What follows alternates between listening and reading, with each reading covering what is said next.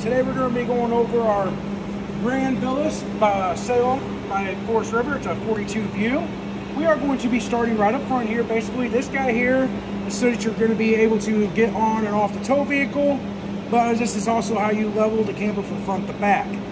I do have to make note that this is considered to be a park model.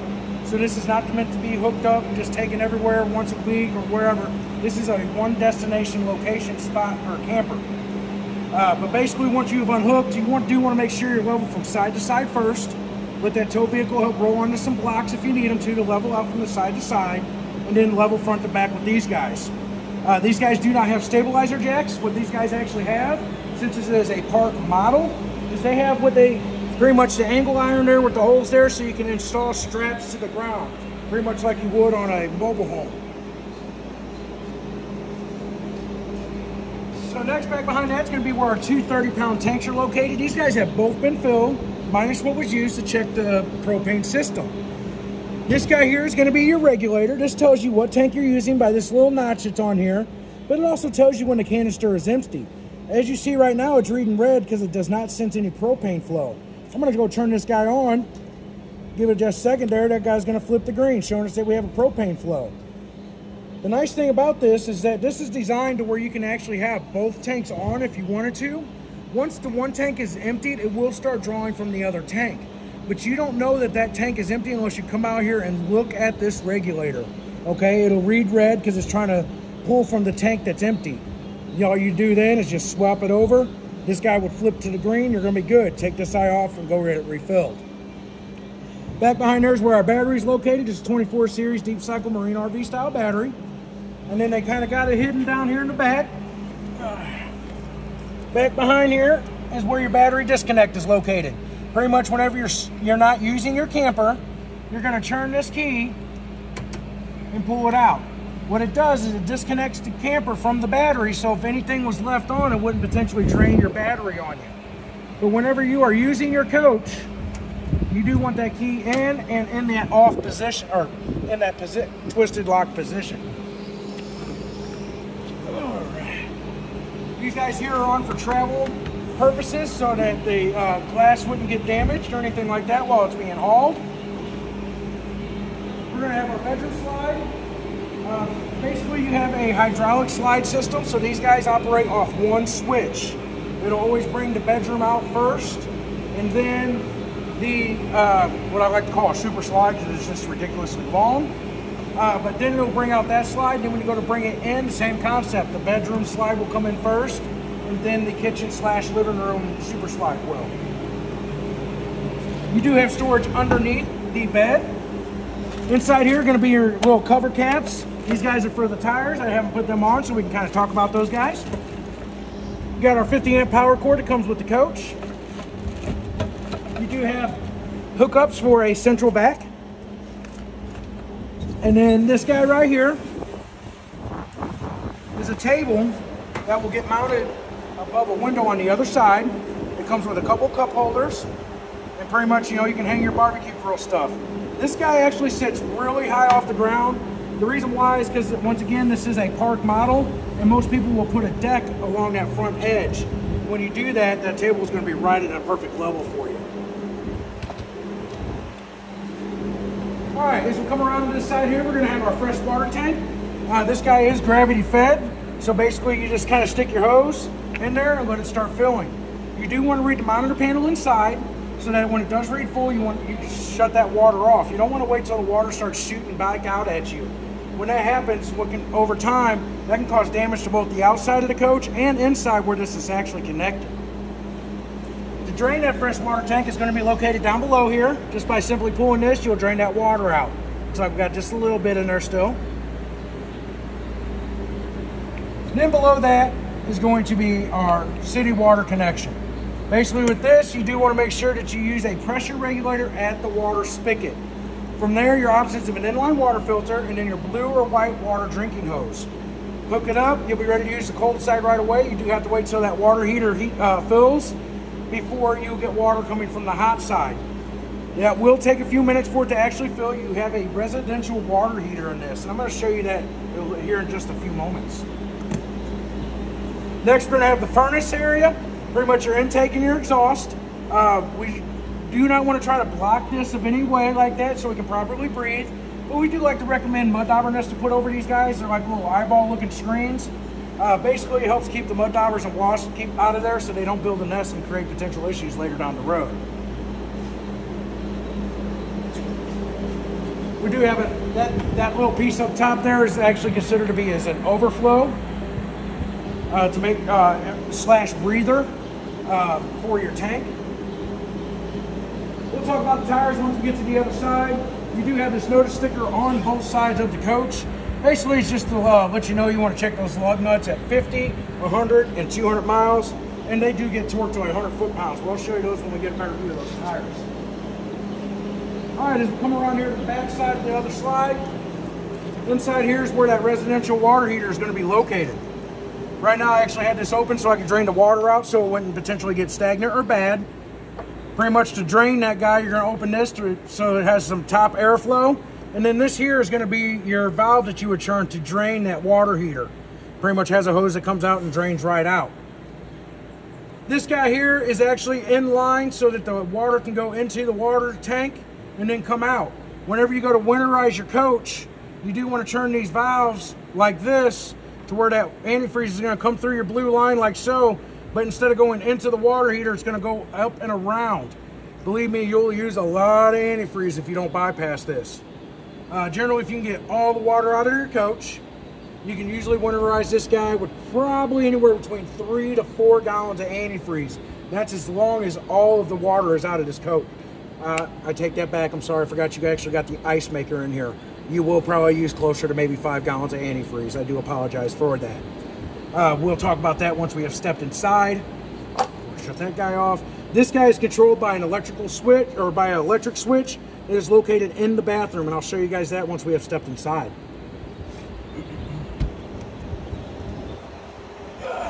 So this guy here is going to be that black tank flush. This guy's like a sprayer inside the black tank, sprays around gets all that nastiness out. When you go to hook up to this, we do like I do like to recommend that you use a pressure regulator on the spigot again, but go out and buy yourself a black hose. Black tank, black hose, keeps it simple.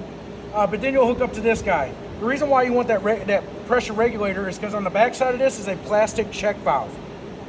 Too strong a water pressure can damage that check valve.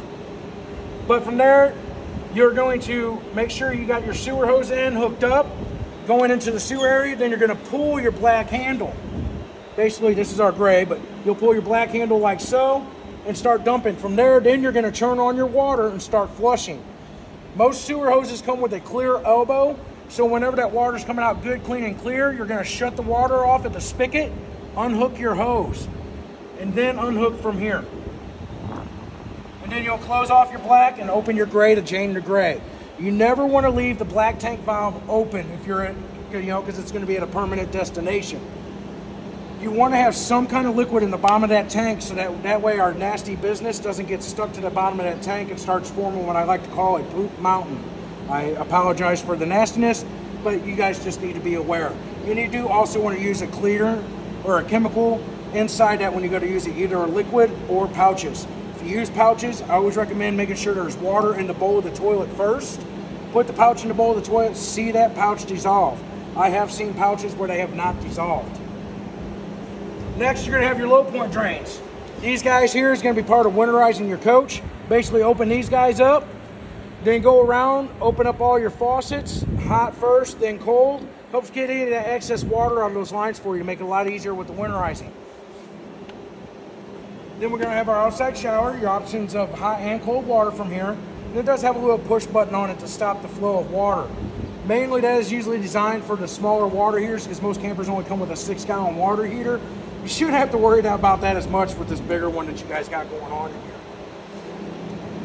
Then this other one here on the back, there is no valve for this. This is basically a direct hookup for the washer drain. So if you decide to put a washer and dryer in here, it's just direct ducted. So you do have to make sure that that cap is taken off and the hose is hooked up to it when you go to use your washer. Okay, there is no valve for it. Where your 50 amp power will hook up is right here.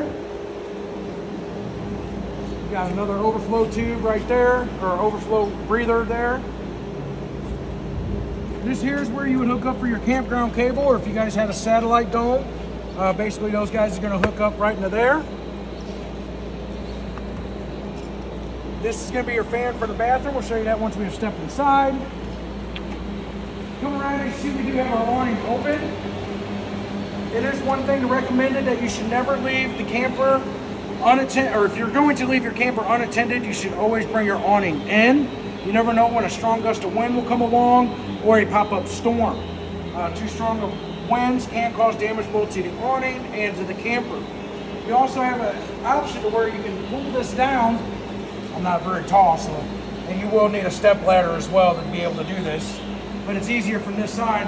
But you're able to grab here, pull down, and create a pitch on there.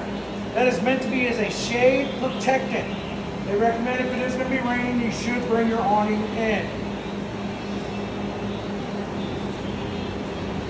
Next, we're going to have our one entry door. This is going to be controlled with the purple key on your keychains. For the door handle lock, the key will turn to the right. For the deadbolt on the bottom, you have to turn the key to the left and then turn it back straight up and down to pull the key out. If you turn it to the right to try to lock the deadbolt, you're able to pull that key out from the right position. It shows you you did not lock the deadbolt. Your steps are real nice and simple. These guys here just fold and then fold. Real nice and simple. And then tells you there pull there, pull it out, and just drop down. This here is going to be so you can leave your door propped open if you wanted to. We do got our outside speakers on. There is a switch inside where you can actually turn the lights on and off to the speakers. Just a little ambiance kind of view.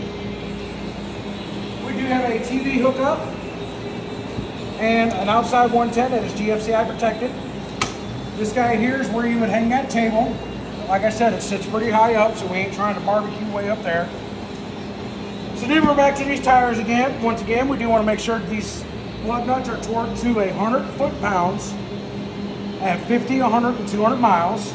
I always like to recommend, well, I usually recommend once you leave the campground, you would recheck these while you're filling. But since this is a final destinational spot, you guys are a final destination camper, you guys are not really going to be periodically checking the lug nuts because you're not really supposed to be pulling this guy anywhere. The only thing that you would need to try to do is make sure these tires are topped off to their max PSI level. And these guys are 100 PSI, okay? They do have the green caps to show that there is nitrogen in these tires. You can put regular air over the top of them and it's not gonna hurt them. If you ever decide that you do wanna put nitrogen back in them and you take it and you pull it somewhere to do that, or you take the tires off to go have that done, let them know that regular air has been put in them so they know to purge the tire to try to get majority of that air out. Usually when there's nitrogen in the tires, it's usually anywhere between 95 to 98% nitrogen and that remainder number is regular air. Okay, they just can't get all those air out of that tire all the time. Next we have a sliding glass door. Once again, you got the trifold steps in to go in. And there's another sticker that tells you about the uh, lug nuts. It tells you going at star pattern. It tells you 100 foot-pounds right on there. And then they do provide an extra 110 outlet over there at the front of the coach as well. Okay.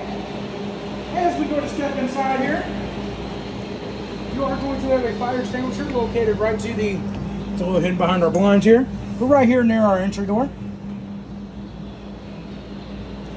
We do have control panels here, but we're going to come back to this one in just a second. We're going to direct our attention right over here to this guy right here. Uh, so basically with our main control panel here, it's going to tell you the status of your battery, your fresh water tank, your black tank 1, you do not have a black tank 2, and then your gray tank, and you do not have a galley. You got the water pump, you're only using the water pump if you're using the fresh water tank. This here is going to be for your awning lights, to turn them on and off. This is for those outside speaker lights. And then you got your ceiling lights. Now this is one of two switches for your ceiling lights. All right, this switch has to be on and then you're able to use the dimmer switch located up here at the top. Pretty much just to turn it on and to turn it on, or turn it off, turn it on. But you can press and hold. Press and hold. And the lights will go dim. So if you're trying to have a little nice romantic evening, you got a fireplace, lay down a little bare rug have you a nice little romantic evening if you wanted to. Just press and hold and we'll brighten those guys right back up so we can kind of see a little bit. And then we have our options to bring the slide room in or slide rooms in and out. Like I said, we always do the bedroom first and then our kitchen slash living room side. This switch down here is going to operate the ceiling fan over the living room area. And then we're going to have our thermostat here. This one here is going to control the air conditioner in the back. But this is also what controls our furnace. I am going to turn this off and start at the beginning. Basically, when you first turn on your little spacebar looking guy, it's going to light up the screen. And then you'll start in the off position. From there, you have fan low and fan high, so that's just the fan that would come on. And then you got cool high and cool low. And these two settings here, the air conditioner will just continuously run. It will not shut off to the desired set that you have it set to. Then after that, you have cool low auto and cool high auto. And that's where that would set to your desired temp. I have it set at 65. When I first plugged this guy in this morning, it was 87 degrees in here. Uh, I have both air conditioners going, and it's been about two hours or so. So it's actually doing really good. Uh, and then the uh, last option is going to be heat. That is propane only, so the propane does have to be on, and the canisters do have to be full uh, for the furnace to be operational. Okay, so next we're gonna still come back to our control panel here in just a moment, but we're gonna travel this direction here towards the bedroom area.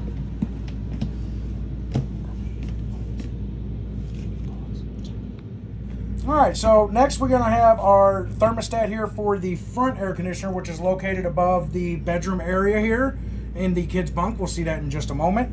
Uh, but this one here only operates the front one. It'll give pretty much the same options, but it doesn't offer you the heat option. So you got the fan low, fan high, cool high, cool low, and then cool low auto and cool high auto. And then once again, just set that desired set temperature. Uh, then we got our light switch here. Turn it on and off for the bedroom. This guy here is going to be your fire exit window if you cannot make your way to the doorway. And then we also are going to have our TV antenna booster located right here. So if you guys are having campground cable, you have to turn off this booster for that signal feed to come through. Okay, when this booster is on, it's considered the antenna as the primary source of that of the you know signal feed. So you have to shut that source off for that cable signal to come through. All you gotta do is just push that button. That's all you gotta do. And the other ones here is if you had that satellite dish. You got your storage below or your dresser area below. Uh, then you got your three double windows here. Uh, each one's all got the blinds. You got individual readers on each side of your bed. Okay, um, and then USB hookup and a 110 on one side. We have our screen door for the sliding for the sliding doors.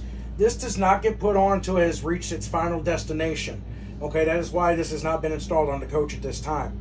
And then as you kind of combed around, you're going to see our fireplace is completely out of the wall here.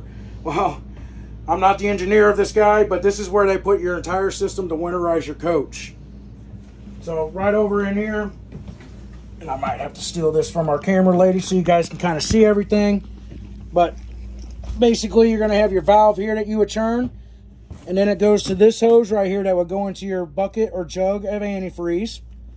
I always recommend if you're using more than a couple gallons of antifreeze, just put it in a five gallon bucket. It makes it a lot easier.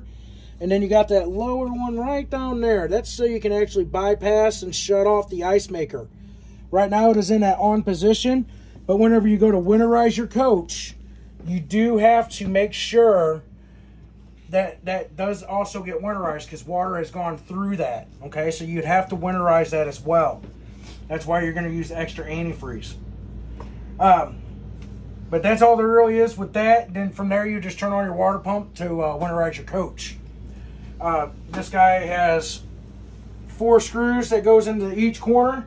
And then there's two smaller screws here that go right in here on each side once you put the glass on to secure that glass so it wouldn't potentially pop out of there. So to use the fireplace, uh, you actually have two fireplaces in the coach.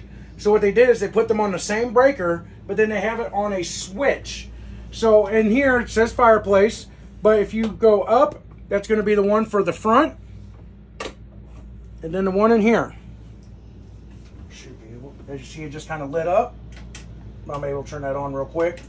I don't want to leave it on too long because we do have our air conditioners running. Uh, we ain't trying to trip that breaker. Uh, but basically in the middle is going to be the off position for both fireplaces.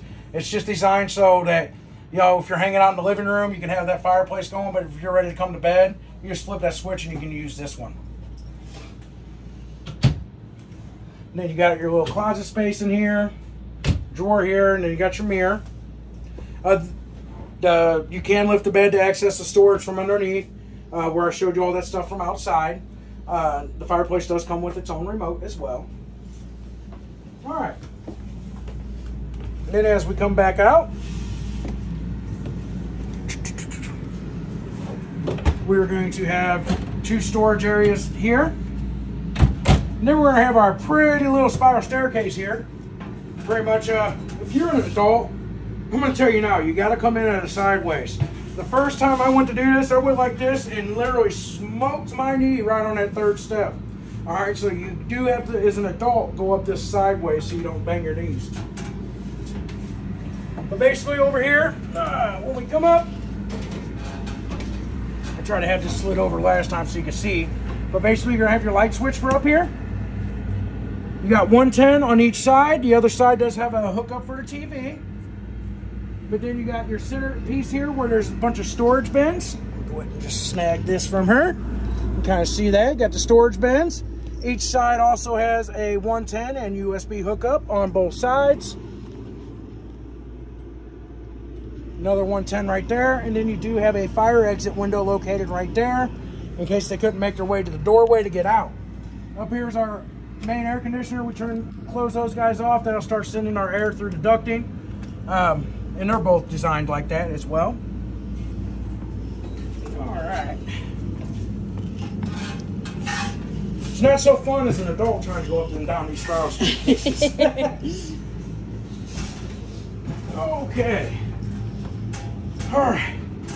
All right, I am going to sidetrack just for two seconds. We're going to come back over here to this side where our other panel was we were talking about in the beginning. So up here, this is where you can control, you got three upper shades, one, two, and three. And then you have four lower shades. You got these two here, this one, the one behind the TV, and then the two on your slide room. Basically what you'll do is you'll turn these switches on and you can raise them up. Bring them all up at the same time, all down at the same time. You can do it individually if you want, just by turning those switches off. So if I just wanted to bring just my one upper shade here, upper shade one, up.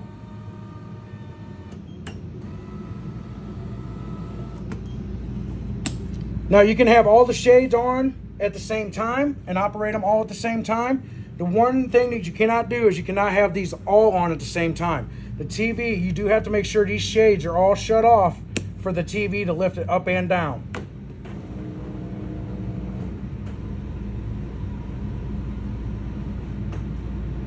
All right. So then after that, this here is going to be what brings our awning in and out. Pretty much extend and retract. See that guy kind of coming in on us, but he's not the fastest guy in the world. And then we're going to have our three light switches. This one here is going to be just for these two lights right above your sliding door. Our other one here is going to be for our island lights. And then our third one here is just for the ambiance lights. Turn these off so you can kind of see a little bit. Uh, or the ambiance lights above the slide room.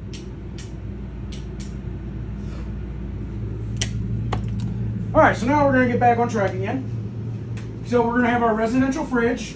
Uh, basically, you do gotta have 110 or shore power for this to have power.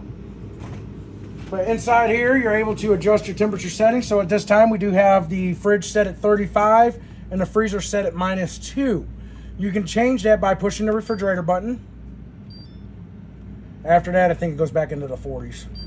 Yeah, 46, which I don't know why they would set that that high. And then you can do the same thing with your fridge or freezer. Uh, there is the option to wear Ice Plus, so it'll make the ice a lot faster for you as long as there is water in the coach. And that's going to be located right down below here. Uh, so at this time I do have this switch turned off because there is no water inside it. Uh, once we have water running and going, you'll just hit that switch, turn it on, and we'll start making your ice for you. Then we got the microwave, pretty self-explanatory. I do like to say to set the timer on this. Uh, you guys go out, you come back, you see that there is no, the time has been reset on it. It shows you there, there was a power failure at the campsite. You do want to look and see if that was from the campsite itself or for the elect or from the electric company. Your fan is hooked up to the microwave as well and our light. So you do have to have 110 for your vent fan and light for the stove.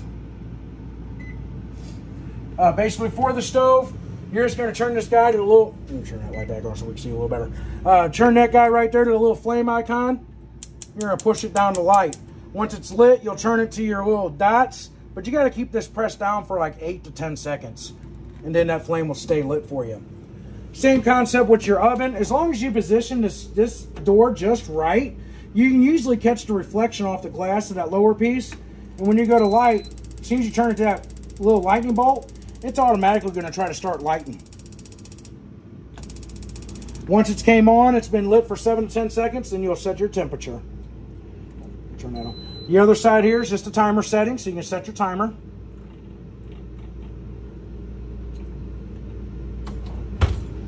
You got your cabinet space up above, drawers down below. This guy here is going to have most of the manuals for the appliances in the coach. The uh, Forest River no longer makes paper manuals for the camper specifically. For that though, what you do is we got this, there's a sticker here. Uh, you download the, uh, download uh, an app and then you'll put in your camper information and it'll basically download a PDF file for your camper.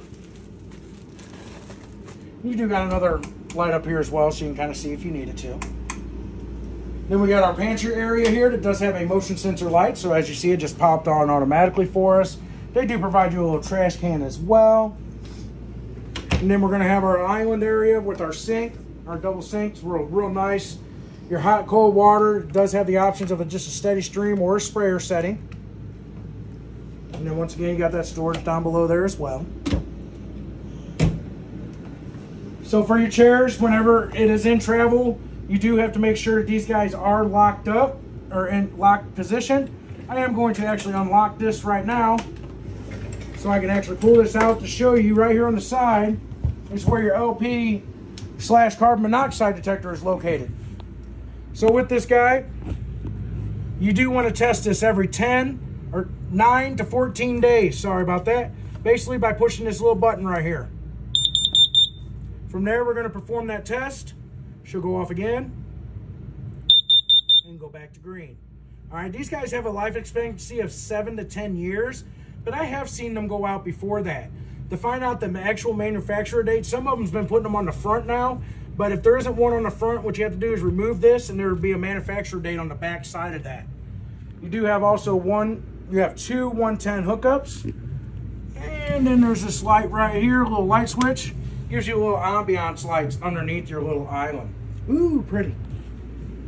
Very cool. Slide that guy back real quick. And we'll resecure him once we get done with our nice little virtual here. So the vents on the floor is going to be for the furnace. All the vents on the roof are for the air conditioner. Uh, then we got our massively long couch here. Um, you do have 110 hookup on each side as well. Uh, for this guy though, this guy here, you pull these cushions. And then this guy here will fold up, pull out our legs, bring this guy forward. He will sit down like so, and then that back piece would fold down. Did not give us enough clearance there. Nice snug. I like to get see a good snug fit on that. Uh, but then you'll put your cushions along that back wall edge there.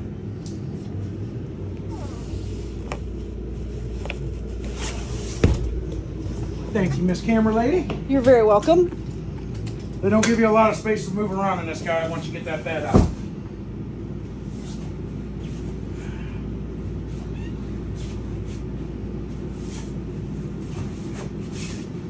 After that, you can actually remove these cushions here, all three of these cushions. They do actually have storage space underneath there. Ooh. And in the back corner, there's a little spot as well. And then you also do have storage here inside here. The only thing I do like to recommend is that your arms are super long because that guy is pretty darn deep. All right, then we basically got our steps up to the other bunk area. Basically, it's going to be the same layout as the other side. The only difference is, is it doesn't have the spiral staircase. Uh, it just has your straight staircase. But other than that, everything up there is going to be identical to the other side. Uh, you got your center cubbies. Uh, you're to have a fire exit window. You got your light switch, TV hookup, uh, 110 and USBs on each side of that little center island piece. Uh, basically, same concept. Uh, down here is where your central vac is located. So if you have your hose attachments, those can go right in there. Nice thing is though, is you can actually sweep everything into a pile right here with your switch. Lift that guy up and then can stuff all into there. This guy does have, uh, a lot of these I've seen they got like a double hole sided bag. Uh, you can look on that bag for that number to go look for, you know, you go to Walmart, Target, anywhere that sells like vacuum bags, and uh, you should be able to get that bag. All right, the next we're gonna go ahead and step into the bathroom area here. It's actually got a, a lot of nice space in here. It's very spacious. Um, but we'll start right here with the toilet. You got a nice little porcelain toilet. Uh, when you go to do your business, you're gonna lightly press on the pedestal to add water. All the way down, it's gonna flush. But you do want to leave some kind of liquid in the bowl of that toilet, so that way that seal doesn't get dry, rotted, or brittle because that'll allow the smell to start coming through. It won't hold water in the toilet so you can do your business, things along that nature. Uh, one thing I do like to recommend is you take nonstick cook spray, spray the bowl of that toilet. it makes everything slide down easier and makes it easier clean for the cleaner. I just always like to say don't get bathroom Pam confused with kitchen Pam or kitchen Pam. A little unsanitary. Next, you got your triple sliding glass door, pretty much. This guy here would fold to shut. Uh, they do have locks right here and on the inside, so it does have a double lock feature. Pretty much what that's what these guys here are for.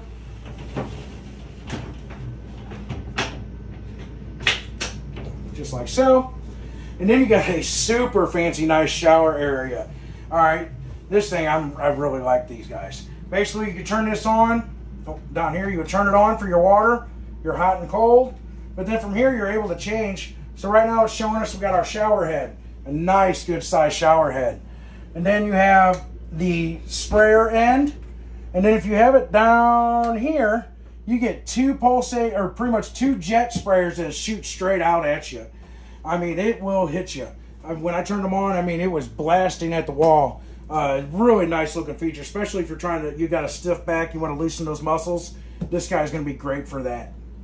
Or turn that back up to the shower head so you don't get alarmed when you go to turn it on the first time. And then inside here is where your washer dryer area would be located. Um, certain models are stackable. Uh, this shelf may have to come out. It depends on the size of the stackables. Uh, but then you got your washer hookups, your hot and your cold, and then your drain for him's up located up here. And then, like I said, though, it's just direct ducted. So you have to have that cap off, or all that water is just going to backfeed right in the side of the coach. And we just don't want that. No. Then we got our fan. Pretty much there's a button right here you push to push this out. Turn it on. It's not even loud. It's nice, super quiet. It is quiet. And then the close. Spaciously good sized window for the bathroom. Then you're gonna have your fuse control panel box located down here. Anything that runs off shore power, so you have to be plugged in for it to work. Excuse me. Is all in the breakers. Everything that works off the battery is to be on your fuses, and they do have everything labeled for which breaker is which and which fuse is which on here for you.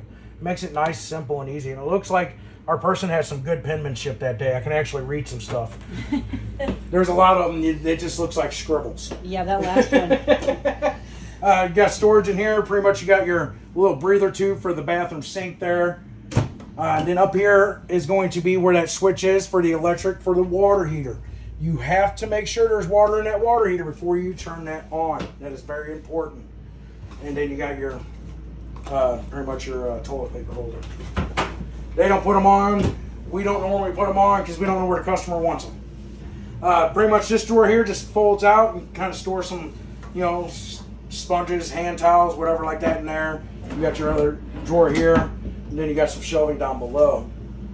Uh, one thing you do want to note with this guy is this guy is designed to have a low flow pressure so that way you can conserve on your hot water so the water does not come out of here real super fast like it would your kitchen or the shower or anything along those lines. So just please be mindful of that. Then you got your GFCI right here. So some of the outlets in the coach ain't working, check and make sure this guy has not been tripped. If so, you just push that button to reset them. And then we got a little light switch right here. Does have a motion sensor light located right there. So if you go to come in at night, that light will automatically come on for you so you can kind of somewhat see. All right, so next we're gonna have our little entertainment center area here. We kind of showed you how our TV goes up and down. Uh, where do I stick our remotes at? Oh, there they. We do have our remotes located right here. This is considered to be a smart style TV. We're gonna turn that guy on while he's getting going and booted up. Talk about the radio real quick while he's loading. Uh, basically, we had the outside speakers on. That's gonna be speaker zone two. Speaker zone one is your inside speakers which is just these guys here. You can have both of them on or just one or other on. It's entirely up to you. And then we have the fireplace down below. The remote for him is going to be this guy right here. You can turn it on. You can change the temperature settings, set a timer on it where it'll shut off on its own.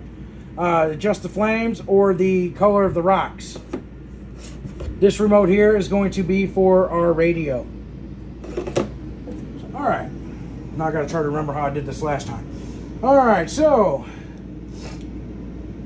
you'll be at this page here. Go over to settings.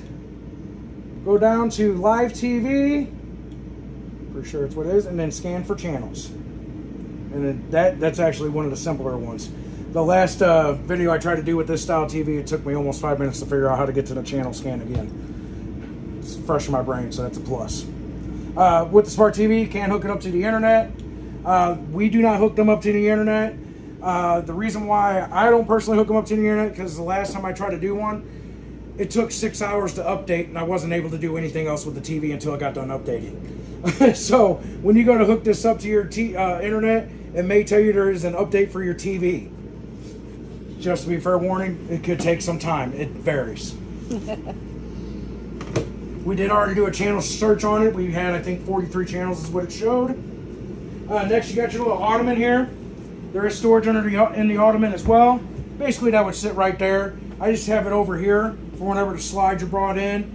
Uh, it's not potentially going to get in the way of the slides.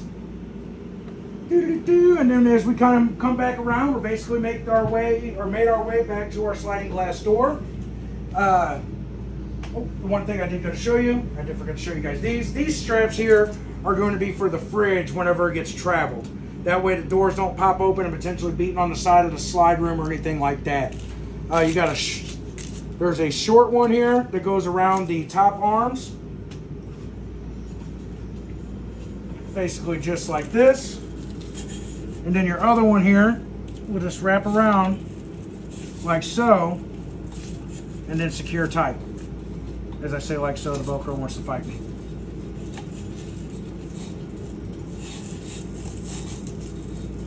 Just make sure those are snug tight. And then that way, as you see, if it tries to open, it's pulling itself right back in. And then your doors ain't even gonna open. All right, so from there, we have made our way around your coach. Hopefully this was knowledgeable and informational for you.